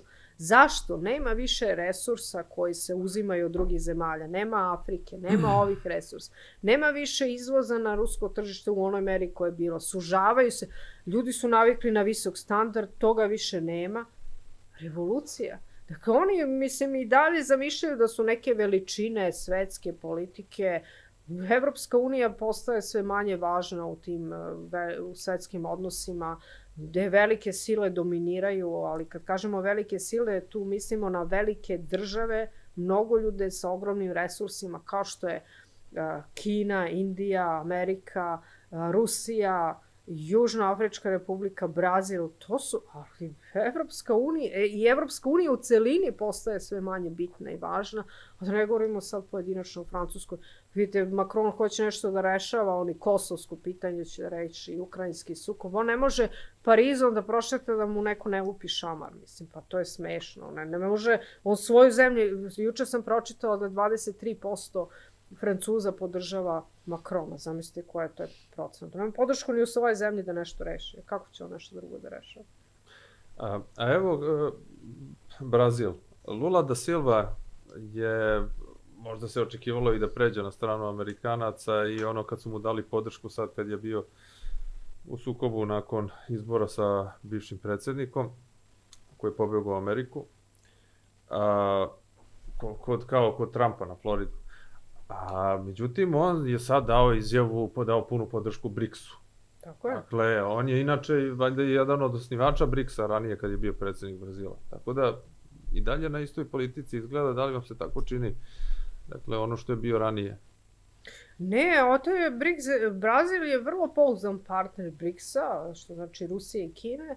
Ta платформа се убрзано razvija. Oni su osnovali svoju banku, napravili su potpuno mhm. alternativnu platformu ovom zapadnocentričnom ekonomskom svetskom sistemu, gde vi imate banku sa realnim sredstvima koja finansira velike infrastrukturne projekte, koja nije samo virtuelno naduvan jedan finansijski balon, već banka koja je napravljena da realizuje zaista investicione projekte. Imate, dakle, najavljeno je formiranje nove valute BRICS-a. Te zemlje se više izbacuju u međusobnoj razmeni dolar. Dolar postaje, gubi, gubi svoj uticaj i to je ono što je bilo najopasnije za Amerikance. A, zapravo jer njihova moć se u velikoj meri zasniva na finansijskoj moći tog dolara, to se gubi. Tako da te zemlje BRICS-a sve više pospešuje svoju saradnju i Brazil je tu jako važna zemlja. Brazil je, mislim, najveća i najbogatija latinoamerička zemlja koja uh, ima zaista svoju ulogu u tom BRICS-u i uh, nedavno je, uh, i ako se ne varam, Lula de Silva je bio u poseti Kini, uh, i, i ove, ta saradnja Brazila sa Rusijom i Kinom ide jednom uzlaznom linijom, zaista velikim koracima. I to je nešto što takođe na što Zapad nema odgovor. I on, on je zapravo ovom politikom Zapad, ali ajde kažemo Sjedinje američke države pre svega, su Kinu i, Rusiju gurnule u zagrljaj. I sada Kina i Rusija prave stratešku saradnju i strateške platforme gde objedinjuju afričke zemlje, latinoameričke zemlje, azijske, druge azijske zemlje, Indiju, Pakistan, tako da Tursku, Iran, tako da... Reklo bi se da zapravo izoluju zapadnu pa, Evropu i Severnu Ameriku. Ne, oni se samo izoluju. Da. Jer ni Rusija ni Kina nisu rekli mi nećemo s vama da sarađujemo. Evropa je sama prekinula kontakte s Rusijom, saradnju uvela drakonske sankcije. E sad vidite šta, šta će se desiti ako recimo Amerikanci nateraju evropske zemlje da uvedu i sankcije Kini. Evo da uzmemo mogućnost da Kina krene u a, ovaj, oslobađanje Tajvana. Što će se neminovno desiti, jer oni imaju zacrtan plan da ovaj, povrate tu teritoriju, mis, ako se ne veram, do mm -hmm. 2030. godine da su stavili. I sad zamislite, ako Amerikanci kažu, e pa sad morate da uvedete Ki, Kini iste sankcije kao i Rusiji, zato što je Kina ovaj, agresivna navodno zemlja kao i Rusija i krenula je u invaziji, šta će, a, a, a, šta će u tom slučaju evropske zemlje da rade. E, tu je sad problem. Njima je jasno da tu dolazi do potpunog propasti, propasti i ovo što su Rusi uveli sankcije i to im se žestoko obija o glavu. Zato je sad e, Macron trčao takođe u Kinu, pa je onda za njim otišao i von der Leyen, jer ne veruje Macronu, pa da vidi, ovaj, da porazgovara nevezano za Macrona i tako dalje, da vidite, vidite da dolazi do jedne ne, ne znam, rekao bih potpunog raspada sistema i velike nervoze i da sve više i više grešaka prave i da nemaju, nemaju odgovore na ovo što se dešava. Evo, taj Tajvan, to je pukovnik Douglas McGregor objašnjava situaciju, političku situaciju na Tajvanu i on je rekao da postoje dve velike stranke tamo koja jedna je projapanska, koja je sad na vlasti, a druga je pro-kineska, ono na tradiciji Čang, Čang, Čang Kai-sheka. I ova druga zapravo želi ujedinjenja sa Kinom, ali pod određenim uslovima, dakle, daje svoje uslove za to, naravno. Dakle, nije baš tako da, nego ima prilično jako uporište e, i pro-kinesko na Tajvanu. Pa sigurno Kina sigurno ima svog uticaja tamo, dakle stvari nisu a, jednostavne i nisu, da kažemo, potpuno pod kontrolom. Sjedinjih američke države, ali Sjedinjih američke države nastoje na tome da zadrže tu svoju kontrolu. Šta njima zapravo, zašto, zašto njima treba Tajvan? Da bi kontrolisali taj uh, severni morski put. Severni morski put će postati plovni put tokom cele godine, ja mislim za jedno, dve, tri godine i bit će potpuna alternativa, dakle bit će uh, veoma, to, to, to će biti veoma značajna alternativa postojećim morskim putovima koje uglavnom kontrolišu a, zapadne sile i njima to naravno ne odgovara. Tajvan je tu jako bitan i naravno ovaj, radi neke radi nekog suprotstavljena Kini, njenoj hegemoniji i tako dalje. Oni su veliko mene i tome i doprineli da Kina postane hegemon. Uh, oni su sad poslali nekih 200 instruktora na Tajvan, Amerikanci, i poslali su, sklopili su neki ugovor da Tajvan kupi one Harpun uh, rakete od njih protiv uh, brodske i tako dalje. Međutim, znate šta, ne, Tajvan nema, odnosno te strukture na Tajvanu proameričke nemaju nikakve šanse da se odbrane ukoliko dođe do, do nekog, ne znamo na koji način će doći do te reintegracije. Do reintegracije će sigurno doći. Samo je pitanje kojim putem. Kina baš nije za to da krene vojno. Ali mislim ako ne bude imala drugog uh, načina da, da će i to uraditi, jer nesumnjivo je da, da će ona vra, povratiti kontrolu nad tom teritorijom. Tako da slede nam dalje vrlo interesantna dešavanja. Vratilo bi se samo na početak na Ukrajinu. Vidite, pre par dana su Rusi prvi put od, od početka ovog intenzivnog a, dela sukoba ili od početka specijalne vojne operacije prvi put upotrebili te car bombe od e, jedne i po tone u Bahmutu, što je potpuno šokiralo i Ukrajinu i Britance i Zapad. E, oni nemaju, ne postoje nikakva protivvazdušna odbrana protiv toga, kao i protiv e, ovaj, recimo cirkon raketa i tako dalje, i hipersoničkih raketa.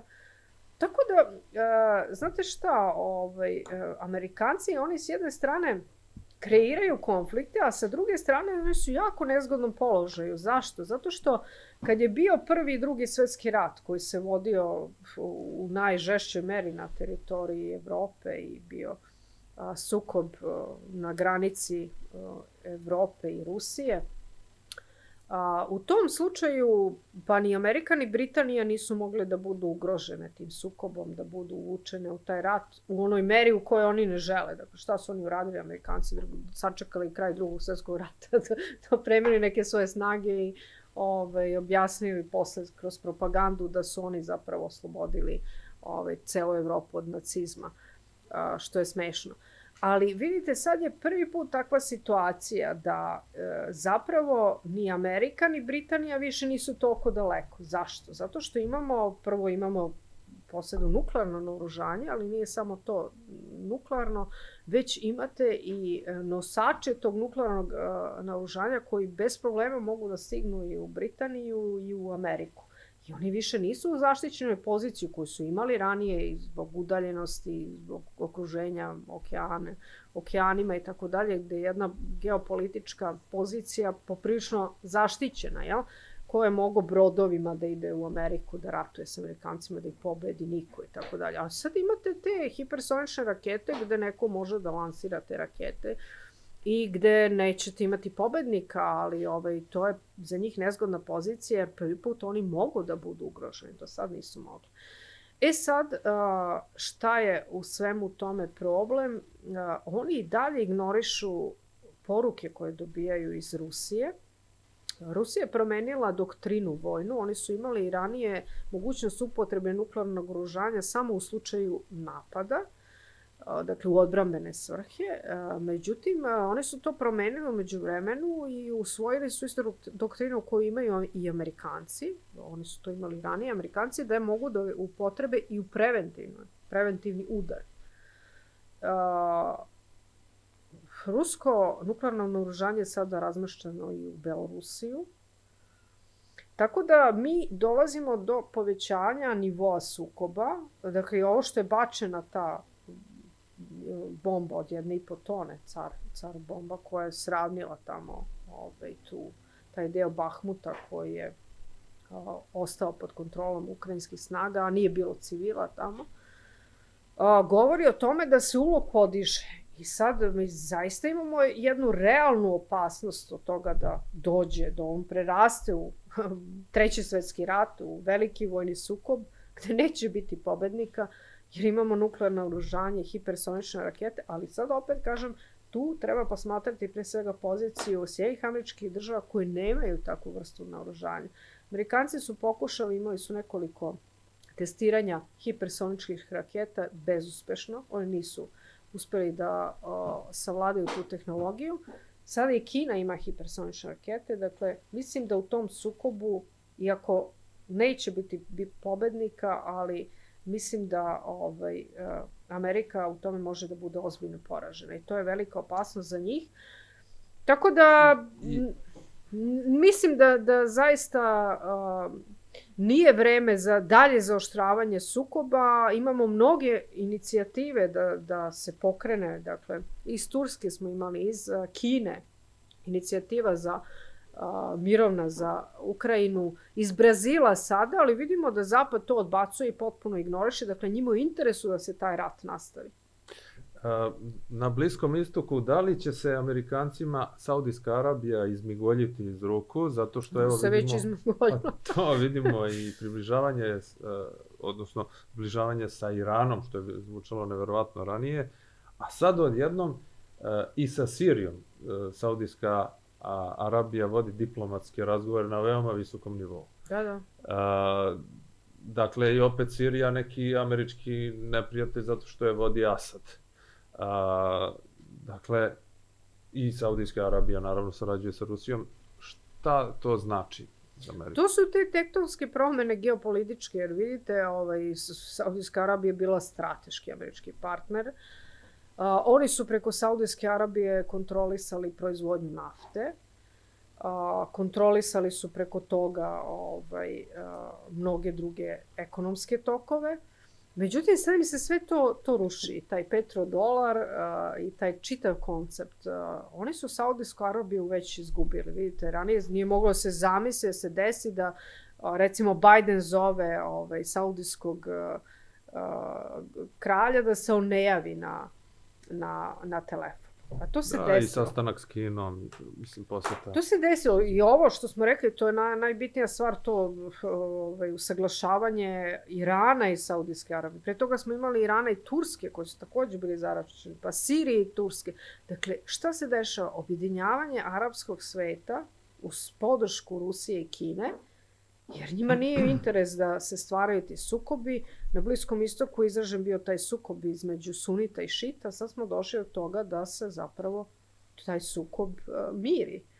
Jer ovaj, Iran je šitska država, a Saudijska Arabija a, sunitska, dakle većinski, Dakle, mi imamo to pomirenje, objedinjavanje arapskog sveta koja, ko, iza koje stoje e, inicijative Kine i Rusije, njihove diplomatske aktivnosti.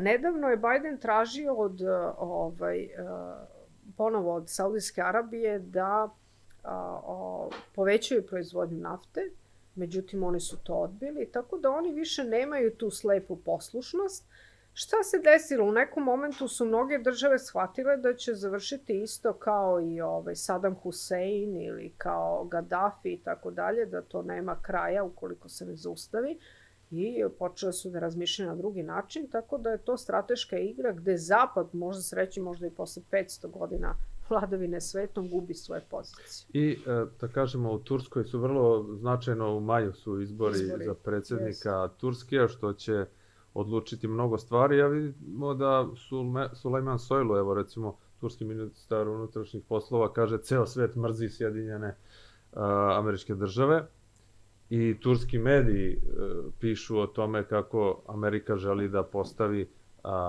na čelo Turske nekoga poput Vladimira Zelenskog. Da. Pa šta nam to govori i šta će se u stvari desiti, kakva su očekivanja za ove izbore? Pa, ja sam prethodnih, prethodnih nedelja razgovarala sa kolegama iz Turske i mi razvijamo sve bolju saradnju sa kolegama iz Turske, mislim na Centar za geostrateške studije. Nedavno, nedavno sam objavila veliki intervju o Kosovo i Metohiji u turskim medijima, koje danas su mi javili da je sjajno prošao. Ja sam rekla da je Kosovo zapravo američki projekat i da Kosovo u budućnosti takođe može da služi za uh, stvaranje konflikata, dalju kontrolu tih konflikata, da to nije u interesu nikome u regionu. I da zapravo ovaj plan, oni su me pitali u vezi okretskih dogovora i briselske platforme pregovora, ja sam rekla da Aleksandar Vučić može da dođe, u, realno može da dođe u situaciju da bude pozvan na odgovornost zbog kršenja ustava ka, onog momenta kada se da, dakle, taj pravni sistem vrati u funkciju, jer on sad trenutno nije u funkciji, uopšte nije dostupan građanu. I ovaj, hoću da kažem da ipak e, u Turskoj postoje intenzivne promene koje se dešavaju. A, naravno, Amerikancima će biti u interesu da pobedi neko od e, opozicionara koga oni kontrolišu i preko koga bi sutra mogli da promene te ili da zaustave ili da ih vrate u suprotnom smeru. Međutim, mislim da se to neće desiti iz onoga što sam mogla da zaključim iz razgovora sa kolegama iz Turske, mislim da se to neće desiti. Mislim da će Erdogan uspeti da a, pobedi na izborima i da će Turska nastaviti da se vraća svojoj samostalnoj politici. Ona sve više, iako je NATO članica, ona sve više se ponaša kao ruski saveznik, recimo, nego NATO članica, što govori o, o mhm. jednoj velikoj krizi u samom NATO. A, ali dobro. Uh, Tako da, ovaj, po mojim procenama, mislim da, da ovaj, zašto? Amerikancima bi naravno bilo zgodno da dođe do nekog sukoba i tamo, zašto da ne, bilo gde, samo da oni to mogu da iskoriste, ali od onog eh, nesrećnog pokušaja puča, zapravo tad se politika Turske prema mhm. Sjednjim američkim državama menja, jer je ovaj, eh, turski predsednik eh, shvatio da su njemu namenili taj puč i ko je to organizovao i to, to je do kraja sve razotkriveno. Kažu da su on, ga Rusi spasili, navodno. Tako je, ni na, tako je, tako je. Rusi su mu, a, i to govori o tome zapravo koliko a, u nekim stvarima se Rusija pocenjuje. Rusi su njemu dali obavešteni podatke o tome da zapravo gde se konkretno u kojim kasarnama sprema puči koji. On je samo zahvaljujući tome uspeo da se izvuče i da to posle sredi i da reguliše. Uh, A, tako da, ovaj, e, što se tiče Turske, mislim, on je nakon tog neuspelog puča se obračunao sa pučistima i sa svim tim strukturama o, proameričkim i subverzivnim koji su bili u redovima pre svega vojske. Tako da, teško, teško da će moći tu da dođe do ovaj, u sve to. Naravno, veliki problem je zemljotres koji se desio, stradanje ljudi, tamo je mnogo ljudi stradalo u tom eh, zemljotresu, ekonomska kriza, ali opet eh, ta ekonomska kriza i sve to stradanje nije ništa u odnosu na ono što bi moglo da se desi ukoliko bi pobedile neke strukture proameričke koje bi radile u interesu Amerike, a protiv Amerike, a protiv interesa sobstvene države i sobstvenog naroda.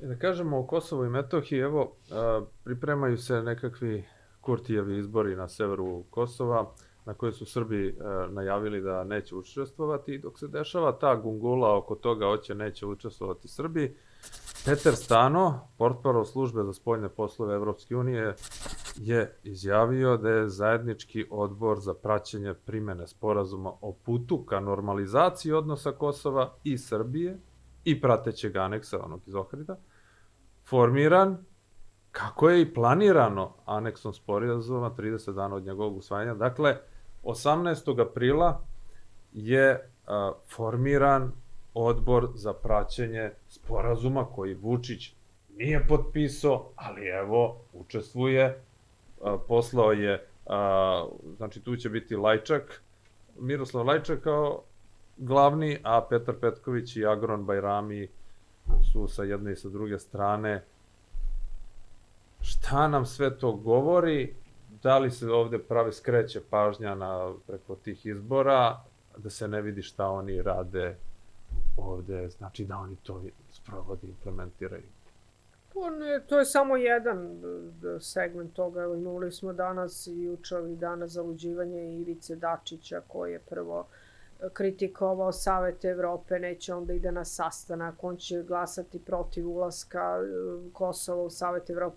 Kako će glasati kad se njegov koalicijan partner, a i on isto, kad su stavili potpis na briselski sporazum gde piše da se neće Srbija protiviti ulasku Kosova u druge institucije međunarodne. Kako on, on to, znači to samo služi za mm. unutrašnju manipulaciju ljudima. Da on, oni sad nama, ne, on će, ali to, to je nešto što se ponavlja već toliko dugo da mislim, meni je to toliko očigledno da ovaj, prosto kad progovori ja već znam u, u koju svrhu to, to zamajavanje služi. To je nešto što Aleksandar Vučić isto radi već godinama. Ne dam valač, ne dam gazivode, ne dam ovo, ne dam ono, ne, ništa ne da, sve je dao na kraju, nikom ništa.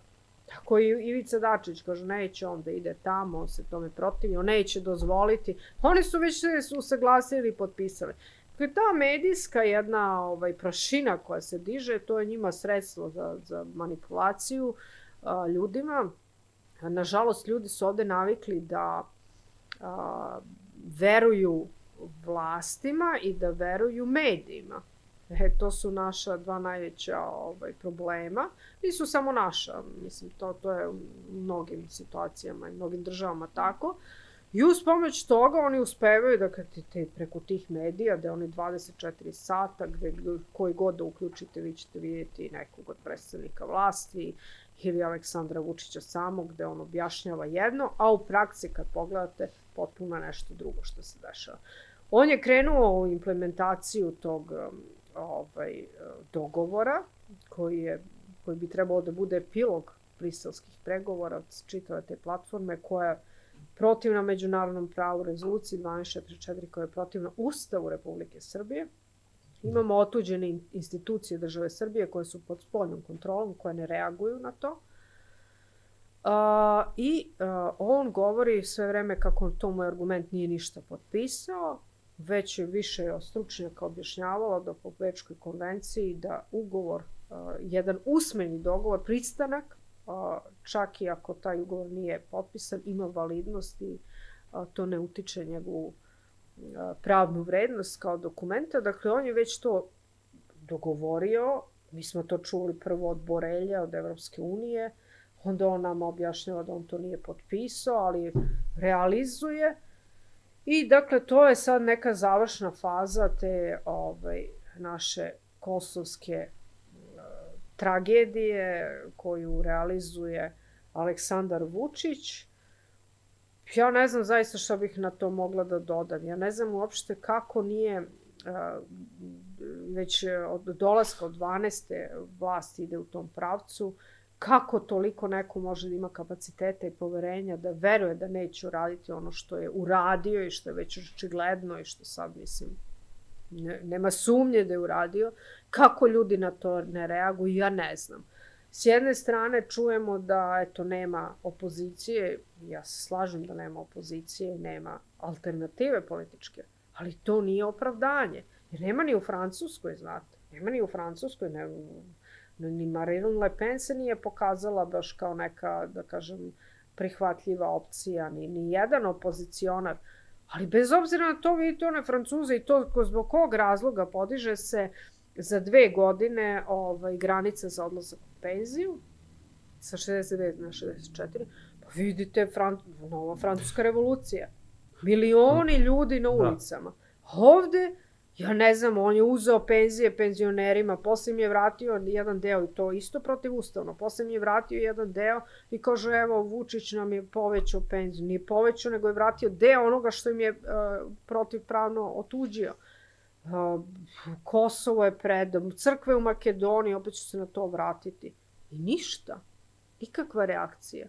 Pa ne znam šta, šta se to dešava. Da smo mi potpuno skuvani kao te žabe što se pričao, znate, onaj sistem kuvate žabu, pa ovaj, onda na tihoj vatri pa malo povećavate, pa ona ovaj, ne shvati da je već skuvana.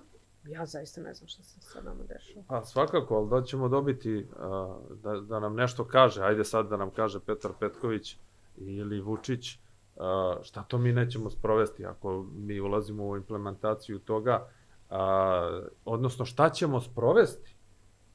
Jer, ajde, izaberite nešto iz tog plana 10-11 tačaka, recite nam jednu stvar što ćemo sprovesti, a da nije suprotno ustavu. E, to, to je jedno pitanje. Ne, oni, oni ne se kažu... tu vrlo ovaj, vešto hvataju za takođe jednu odmanu, gde oni govore mi nećemo dozvoliti ulazak Kosova u jedini. Oni se o tome ne, oni o tome ne odlučuju. Oni, na osnovu čega oni odlučuju? Znači, postoji mogućnost ili da uđu preko Saveta bezbednosti Ujedinih nacija, što je nemoguće, tamo postoji ruski veto, i druga preko glasanja u, u ovaj uh, skupštini Ujedinih nacija u parlamentu, ali uh, o tome ne odlučuje Srbija. A oni se služe manipulacijom, kažu mi nećemo dozvoliti. Pritom su potpisali i u briselskom i u vašingtonskom dogovoru i u ovom iz Ohrida piše da se Srbija neće suprotstavljati ulazku Kosova u međunarodne institucije. Nije definisano koje. Znači, da. sve međunarodne institucije. Znači da, prost zaključak, logičan, oni nas lažu. Svakako lažu, a evo Rada Trajković je na, na Twitteru ovu vest e, Petra Stana, što je ovu izjavu podržala, rekla da je to odličan plan i ona je predložila da, da se za sprovođenje odredi i visoki predstavnik Međutim, kako sada napasti, napadali su Radu Trajković pre ovih potpisivanja, odnosno ovih sporazuma koji nisu potpisani, ali verovatno će biti. Ali kako je sad oni napasti... Oni se realizuju, bez obzira što nisu, oni se realizuju. Kad ona podržava to što su oni dogovorili. Da. Mislim, kako sad da je napadnu? Pa to je njima, mislim, isto kao i sa ovim, recimo, građanskom opcijom, koja ovaj, više nije u sukobu, nego on ima sad veću podršku od, ne znam, Nataše Kandić, Sonja Biserko, svih ovih e, potpuno proliberalnih struktura za, za politiku prema Kosovu koju sprovodi, dakle, za predaju Kosova, što, mislim, je negde i logično. Zapravo je ta srpska radikalna stranka preobučena preuzela politiku LDP-a i to jeste suština toga. Tako da nije čudno što imaju podršku. S te strane nije logično da, da ih napadaju, tako je, ali sa druge strane imamo jednu vrlo blagu reakciju tih pseudopatriotskih partija ili ne znam kako, Vučiće opozicije, patriotske i tako dalje, gde oni takođe, mislim, prvo su pravili neki miting gde su rasterali te ljude, onda su im objavili blokadu, pa e, tu je nije već došlo 500 ljudi, sad pravi miting u Novom Sadu, gde koja je poenta da se tamo pravi, uopšte ne znam. Dakle, tu se sve razvodnjava i opet se ide na to da se troši energija ljudi, da se troši negativna energija. Tu se stalno radi sistemski, To je na kraju krajeva i ovaj Đilas koji isto izigrava neku opoziciju, sad se ovaj, potpuno razotkrio, radio već dve, tri godine, istrošio energiju i tako dalje. Dakle, mi imamo jedno to vrzino kolo u koje smo ubačeni, gde nemamo ono, izlaza, ne vidimo izlaz iz toga. I ovaj, ljudi jesu umorni, sigurno i ustrošeni, ali opet kažem, to nije razlog da, da se ne, bilo ko od nas preda i da jednostavno dozvolimo eto mirno da oni sprovedu sve to. Znate, onda do, kad to realizuje, Aleksandar Vučić njima nije potreban, Koni Đukanović ne više nije potreban u Crnoj Gori, e onda će da se ovaj, onda će da nam organizuju demokratske izbore, pa da nam dovedu nekog mladog, obdarenog političara, umerenog vrlo, koji će, zamislite, ako pogledate biografiju, biti školovan na Oxfordu ili negde u Britaniji, Americi i tako dalje, koji će nastaviti su, su tu politiku koju je da. imao i Aleksandar Vučić, samo na jedan onako umiven, fin način, kultura. I šta onda? I nama će biti dozvoljeno u svim medijima da napadamo Aleksandra Vučića i eto... Kad prođe brzi da. voz, ali on će svojim pristankom na to da se povuče sa vlasti, kupiti svoju slobodu, zadržati svoju slobodu i svoj novac koji nelegalno stekao, koji Đukanović i ovaj, to tako. Međutim, znate šta, ja ipak mislim da to neće biti moguće kako su zamislili. Jer vidite, kao što ne shvataju ozbiljno ta upozorenja ili poruke koje dobijaju iz Moskve po pitanju vojnih akcija i dejstava, tako ne shvataju ni političke poruke. Putin je rekao da će u Evropi doći do potpune promene političkih elita. I to ne samo ovih vodećih, znači političkih elita kompletnih, ne samo vlasti, već i opozicije. E, to će se neminovno desiti. Zašto? Zato što ovaj sistem više ne funkcioniše. Jednostavno rekli smo kako funkcioniše. Soro školuje svoje kadrove koji posle imaju obaveze, ispunjavaju određene zahteve Soroša, onda im pomažu u razvoju karijere, postavljaju ih na te funkcije, ljude koji ne kontrolišu potpuno marginalizuju. Vi imate jedan potpuno nakaradni sistem koji je napravljen, Frank, Frankenstein sistem. Ne samo ovde, nego na mnogim mestima, ali je to počelo da im se urušava, jer to jednostavno više ne može da opstane. Tako da neće im ni ovo opstati. Doći će potpune promene političkih elita, što je dobro. Biće o, o, potpuno ovaj, promenjen sistem i de, desit će se nešto pozitivno. Da, i ono što je pozitivno je možda, a vi ste nam reći da se slažete, to što od 1. januara a, Kosovo, koje je kao deo Srbije odavno trebalo da dobije tu viznu liberalizaciju, dobit će ga zasebno, Ja podržavam. A već sada ih ima 400-500 hiljada prema nekim procenama Albanaca na Kosovu i Metohiji, neki idu, kaže, do 600, ali neki idu do 380 hiljada do, donja granica neke procene. A koliko će ih uopšte ostati od 1. januara kad krenu pa nadalje?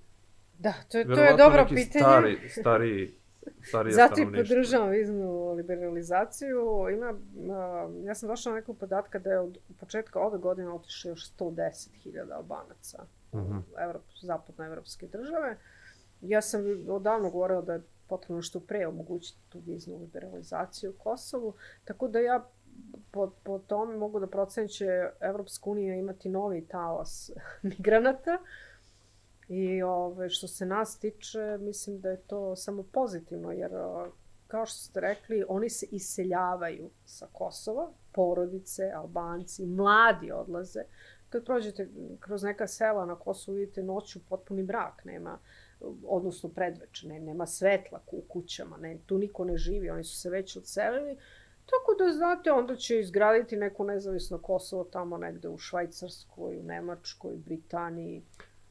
To je e, to da kažem, mi treba da izdržimo, a ne da e, brže Tako bolje je. ovaj priznamo ovaj Ohridski i neke takve sporazume. Tako je, slažem se ja, ali sad opet to ne zavisi od vas i mene ili e, ne zavisi čak ni od građana Srbije, nažalost, jer kažem, mi smo svi u jednom vrzinom kolu, u jednom sistemu koji je odavno postavljen na svoje pogrešne osnove i koji dan danas funkcioniše. Uh, Ali možemo da pružimo otpor tome, onoliko koliko je do nas i koliko možemo. Barem da kažemo, evo i to je jedan čin otpora, barem da kažemo pa ne dozvoljavam, ne dam, neću. Pa i to je danas postao revolucionarni čin. Ili reći istinu u oči. To je, znate, ko nekom kad drugima ne prija, pa te kamo li da kažu, čak ne vole ni da je čuju. Pa hajde da budemo barem iskreni da kažemo neku istinu, da, ili da ne kažem pa neću da se saglasi s tim da je dozvoljeno. Znate, e, ja se opet vraćam na to, ali zato što to mene jako tišti, ja ne mogu da shvatim kako je to moglo se desi.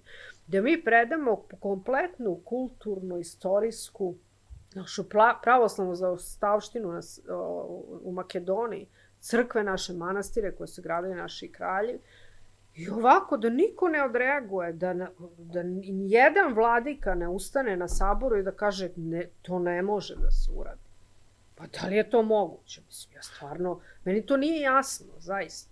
Mislim, Tako da, mislim da moramo... Mi smo priznali i Makedoniju kao državu. Mislim, radi toga da, nije, ali se, nije se ni tada nešto... u vreme Miloševića. Ali pazite, ovo ni komunisti čak nisu radili. Ovo je sad, ovo je daleko gori, ovo je čin vele izdaje da vi prepišete jedan tomos, date, prepišete ovaj, i kaže, pa ni, i još proglasite to za uspeh. Pa ja to zaista ne, ja ne mogu to tako. Tako sutra isto može da se desi i sa Pećkom patrijaršijom i sa Gračanicom, sa crkvom na Kosovo i Metohiji. Pa potpišu, lepo kaže, evo, Tomos, Kosovska pravoslavna crkva. I nikom ništa, jel? Dakle, moramo da se vratimo, da se suočimo sa istinom, sa činjenicom, da počnemo tu istinu da govorimo i da se borimo za sobstvene interese, barem time da sačuvamo sobstveni integritet, dostojanstvo, kažem pa neću, ja na to ne pristajem. E sad problem je tu kod mnogih, za to je potrebna žrtva, zato što je ovaj sistem postavljen tako da vas ucenjuju, I onda ne smete da kažete jer ćete ostati bez posla, ne smete, ali znate šta, ipak mislim da mora da postoji neka granica. Ja verujem da mi nismo narod koji do te mere može da sroza sebe, da pristane, da ga jedna, ovaj, jedan kartel kriminalni, jedna politička banda ucenjuje do kraja da je spreman da izda i svoju državu i crkvu i, i sve živo i da preda i da kao, i budućnost svoje dece da prokocka, da kaže pa morao sam da ćutim, znate, zbog radnog mesta ili upravnog zakona. Dragana, hvala vam na ovom zanimljivom izlaganju. Hvala vam. Sa nama je bila Dragana Trifković, ja sam Nikša Bulatović. Gledali ste emisiju Luča na kanalu Pravi odgovor. Zapratite nas a, ispod videa klikom na subscribe i do godine u Prizrenu.